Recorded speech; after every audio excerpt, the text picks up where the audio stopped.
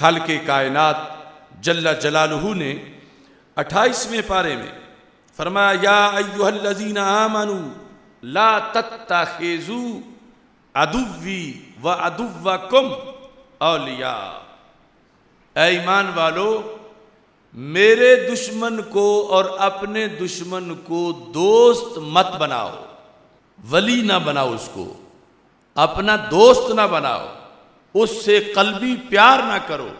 यानी एक तो यह ला तत्ताखिजुल यहूदा वन नसारा औलिया, यहूदो नसारा को दोस्त ना बनाओ। तो सिर्फ़ यहूदो नसारा की बात नहीं, हर हर दुश्मन खुदा की बात है। हर हर दुश्मन इस्लाम की बात है।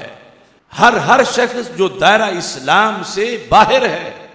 नबी अकरम नूर मुजस्म शफी मुआज़म सल्लल्लाहु अलैहि वसल्लम ने और ख़ुद रब जलाल ने इस सिलसिला में हम पे ये लाजिम किया है कि जैसे उसने कहा, शराब ना पियो, जिना ना करो तो इन चीज़ों से मोमिन कितनी नफरत करता है।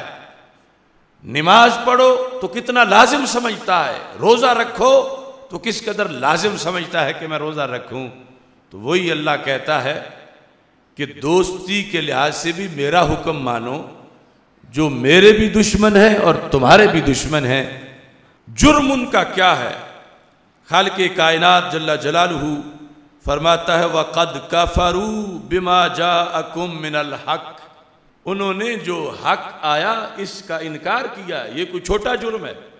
यानी लोग समझते हैं, एक हिंदू का क्या जुर्म है? एक सिख का क्या जुर्म है? एक कादियानी, यहूदी, नसरानी का क्या जुर्म है? अल्लाह कुरान में फरमाता है, ये जुर्म थोड़ा है कि मैंने जो दीन भेजा है, वो उस दीन का इनकार कर रहा है। दुनिया में लगाने